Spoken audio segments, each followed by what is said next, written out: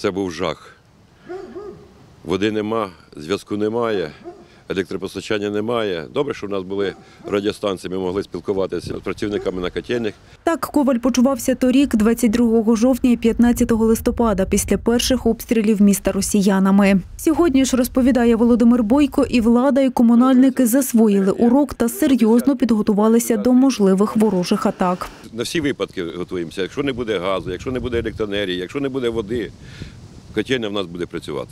Сьогодні усі котельні міста мають по генератору. Як тільки виникнуть проблеми з електропостачанням, одразу перейдуть на резервне живлення, аби безперервно подавати тепло у будинки мешканців. І для цього ми виділили ще в минулому році 10 мільйонів гривень. І зараз кожна котельня обладнана окремим генератором. І у разі, якщо не буде довго світла, то ми без проблем можемо подавати тепло в більшість осель, е, в тих, в кого є централізоване опалення в ковальчан.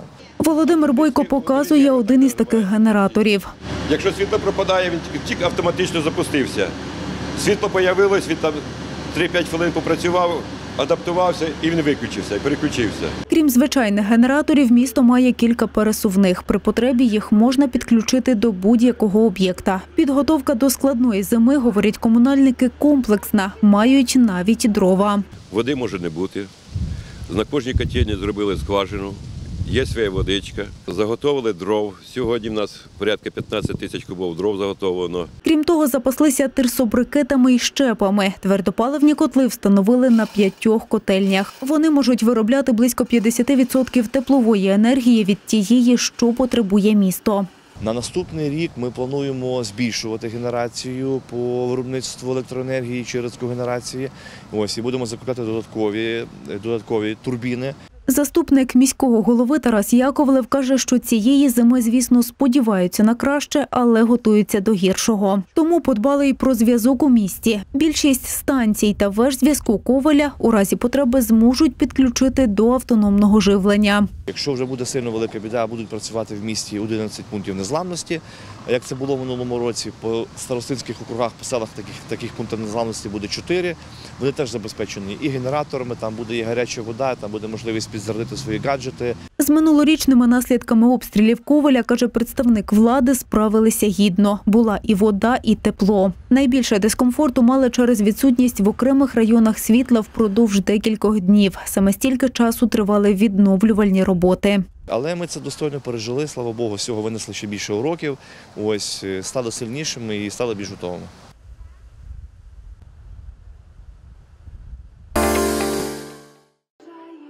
Аншлаг в 11-му ліцеї Коваля з самісінького ранку. Вже не вперше тут проводять благодійний ярмарок для того, щоб зібрати гроші на підтримку українського війська. Школярі наготували повно смаколиків. кажуть, спеціально вставали з самого ранку, аби все було свіжим та смачним.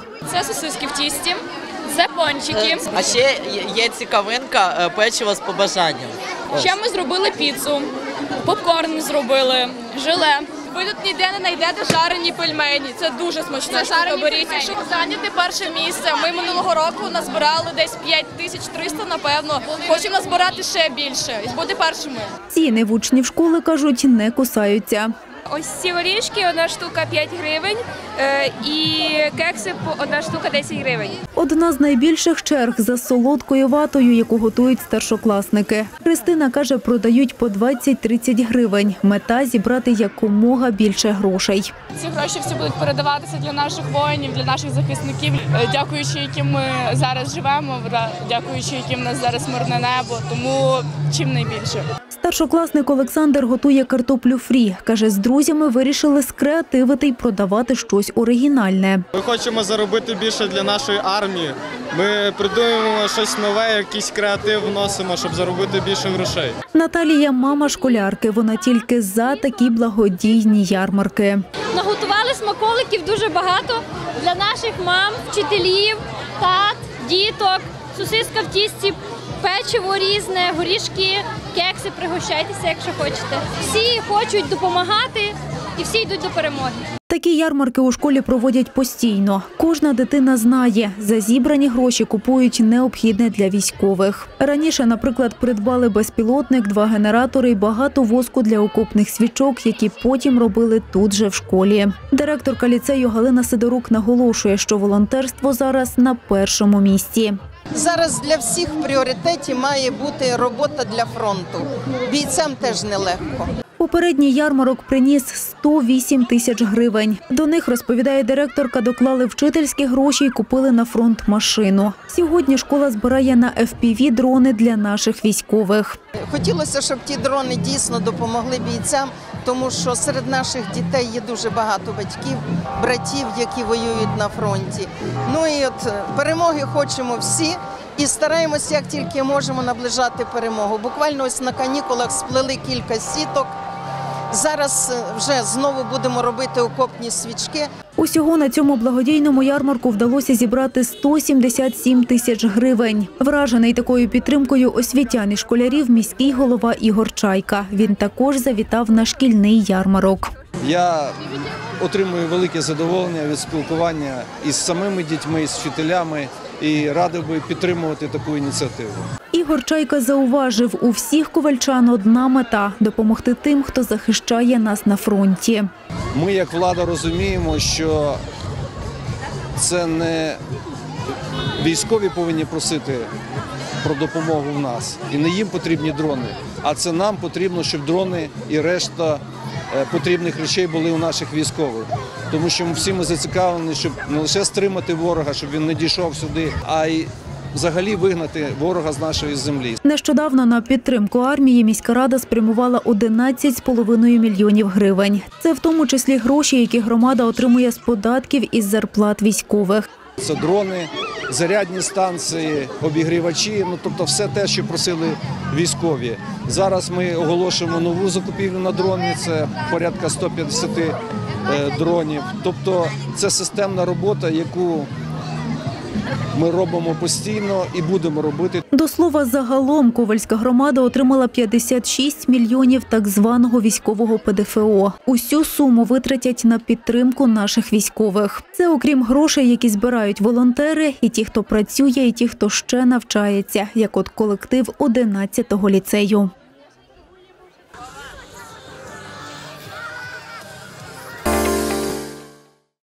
Ковальчанка Світлана Богдан, мама двох синів. Молодший 22-річний Анатолій і зараз на фронті. Старший Андрій, якому 24, у російському полоні. Ми спілкуємося з жінкою на її робочому місці у кабінеті медичної сестри в одній із ковальських шкіл. Світлана каже, що їй допомагають триматися робота та волонтерство. Получається, була зайнята між людей.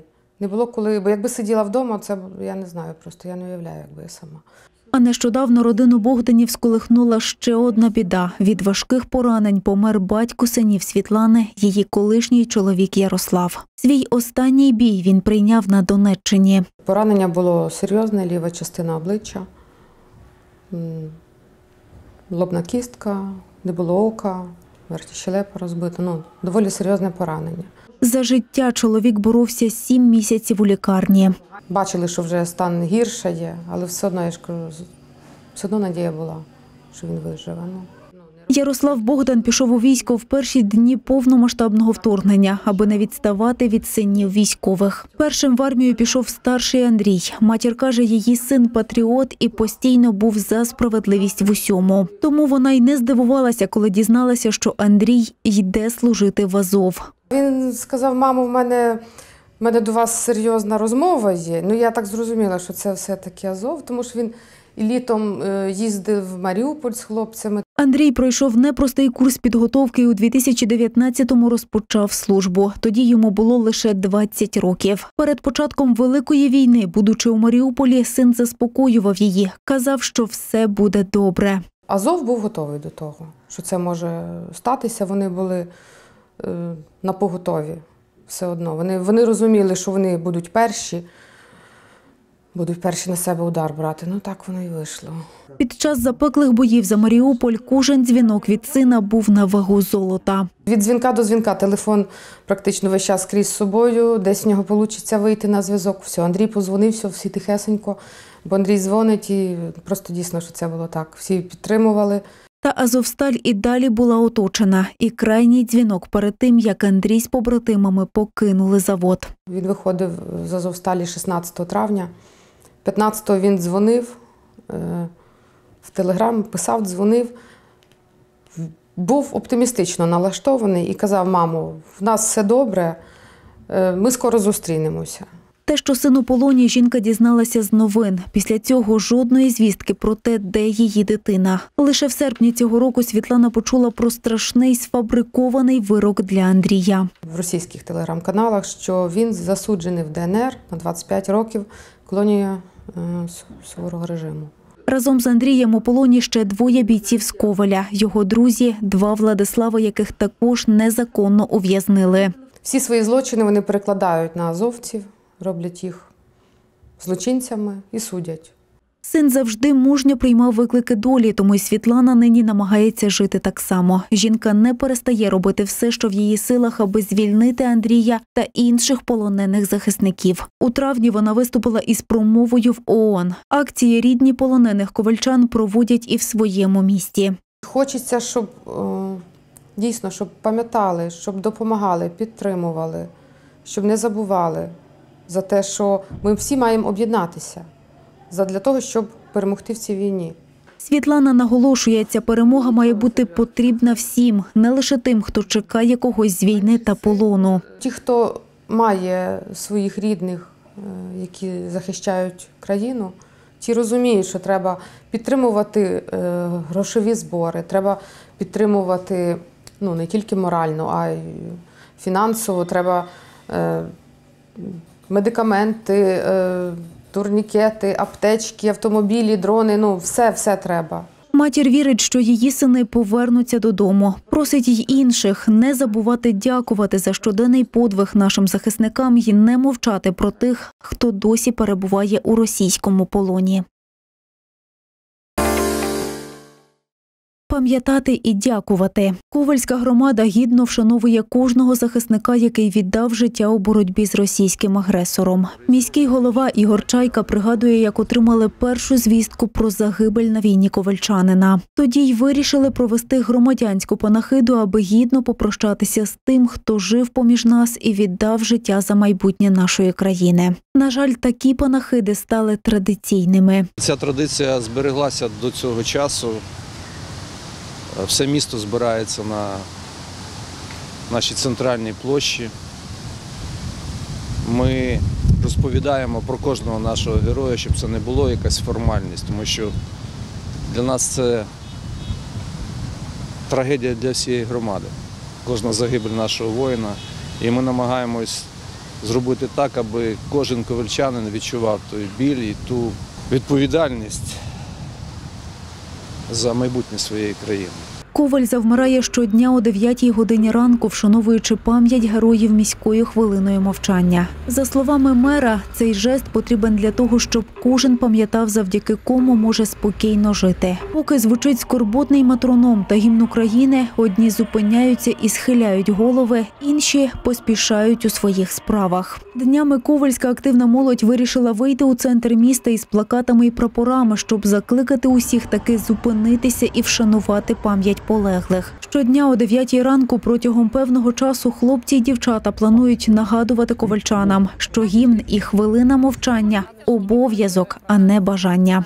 Ми всі маємо відчувати оцю єдність плече до плеча, яка нам допомагає вистояти у цій нерівній боротьбі з агресором і, зрештою, наближати нашу перемогу. До Дня захисників і захисниць України на навчальних закладах Ковальської громади з'явилися меморіальні дошки з короткою біографією героїв, які отримували тут знання та загинули на війні, починаючи з 2014 року. Фото полеглих захисників є і на центральному бульварі Лесі Українки. Це місце у Ковалі уже називають алеєю героїв. Зараз ми вже думаємо про те, як розмістити фото наших героїв і цю інформацію на спеціальних таких кубах, конструкціях. Ми намагаємось робити все, аби ковальчани у цьому кажу ж відносно спокійному місті не забували, що в країні йде війна, і що кожного дня якась українська сім'я отримує звістку про загибель когось із своїх рідних сина, батька, брата. І ми маємо бути достойними пам'яті цих людей, робити все, аби пам'ять про них жила поруч з нами.